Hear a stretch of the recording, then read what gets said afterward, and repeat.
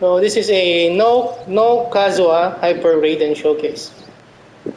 Sometimes I'm over like 600k depending on the situation. Let's light it up. Still uh, trying to improve on this. I might have a different build right now. Oh, I don't have the energy recharge here, so uh, this might do a bit lesser damage than my full build, but see. At least this this like hurts a bit more. Well, good luck to your.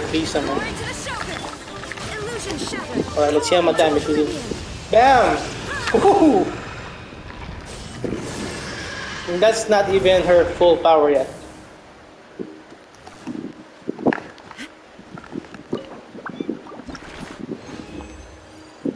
I think I have done more damage than that.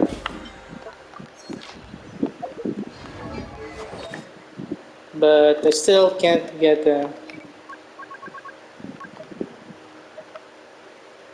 I'm not satisfied, but this is the this should be the sense oh, I be I am using when I'm doing more damage, but damage showcase. But I don't like the crit, so uh, in abyss this is still usable in abyss if there is a crit rate buff. Uh, but this, this is kind of a bit more. This one crits a lot better. Well, that's the best I can do. I'm not a whale. If only I could get an electro.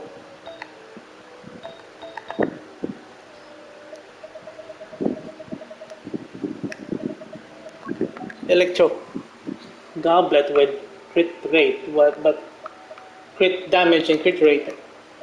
I mean, it's so hard to get, you know? It's gonna take me like years years of farming. It's insane. That's how bad the RNG is. This account is like more than a year already, but I've been like a good, not even a good electro with electro cup with crit rating, crit damage.